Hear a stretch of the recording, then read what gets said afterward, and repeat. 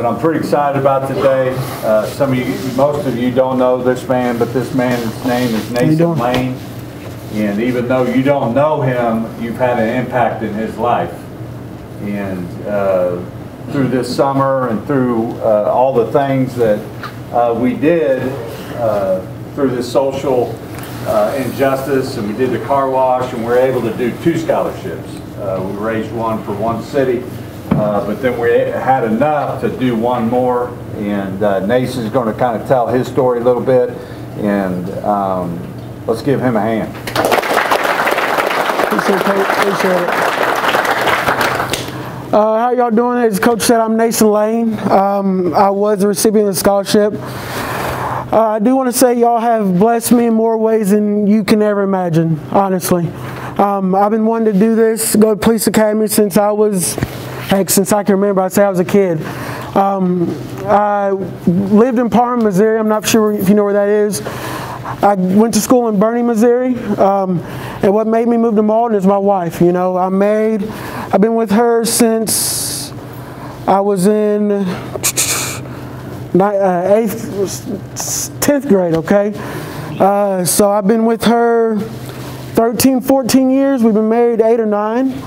Um, she is also a graduate of Southeast Missouri State University.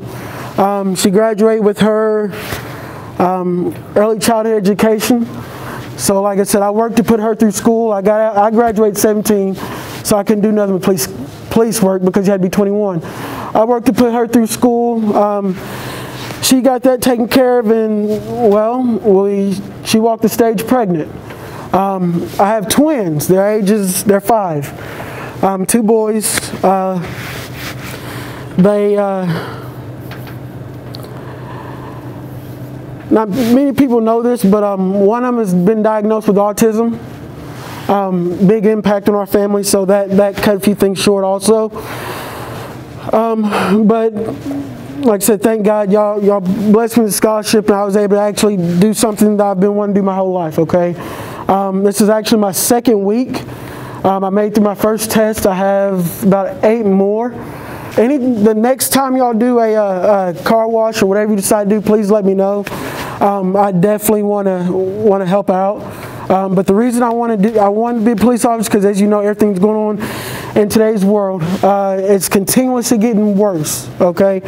Um, every day you're seeing a shooting, you're seeing uh, someone getting choked. I'm not saying it's all the police were always in the wrong, um, but a lot of it shouldn't happen. You know, I want to be the change to be the person they can come talk to if they want to see how can I say it? If they want to know if the police were in the right or if they were in the wrong you know?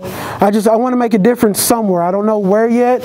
I, I want to say y'all have been a blessing and I appreciate every one of y'all. You do not know what you've done for me. Um, and that's that's it. Like I, I appreciate everything. Thank you so much. Thank you thank you